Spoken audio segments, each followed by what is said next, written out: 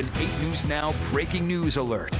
Breaking right now, a deadly car fire on the 215 at Tenaya, causing quite that traffic tie-up. We're waiting for more information. That fire has looked pretty intense at times. Once we do get additional information, you can see here on our live shot, we will pass it along. If you have anyone trying to make their way through, well, you can expect delays.